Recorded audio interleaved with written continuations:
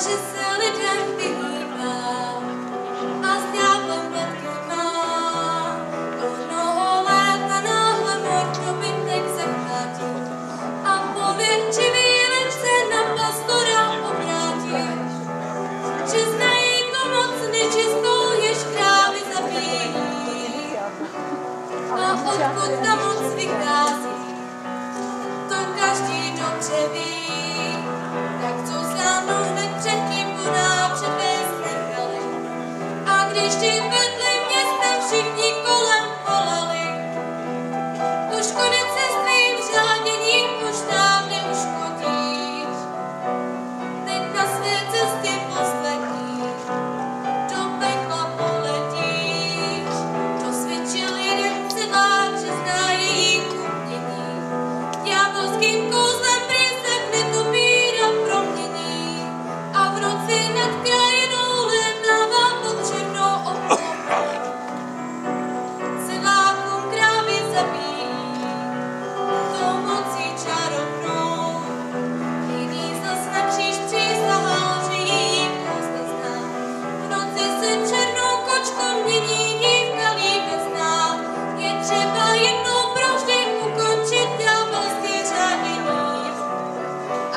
nim się przeleja ostatnio